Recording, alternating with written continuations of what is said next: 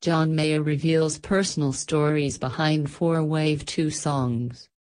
Singer-songwriter details emoji of a wave, helpless, still feel like your man and roll it on home. After releasing Wave 1 in January, Mayer acknowledges that, as he shares more of the search for everything, the autobiographical picture it paints is coming into sharper focus. I actually, for the first time in my life, believe I recorded exactly what I was feeling, says Mayer, who describes having experienced a deep and unprecedented sadness following his 2014 breakup with Katy Perry. It was the only time in my life that sadness was like a lucid dream, like, oh, I'm here. I got no business trying to get out of this, because it won't work. It was like learning to live in the wilderness.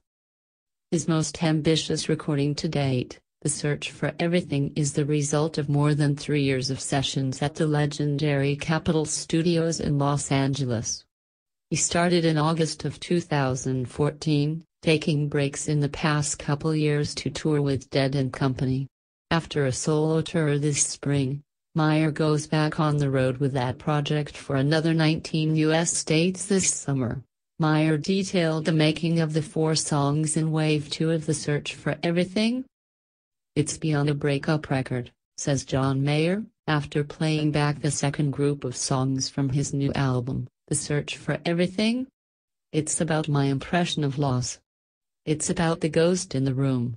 Proudly, it is, as my therapist says, a study into the metaphysics of absent love.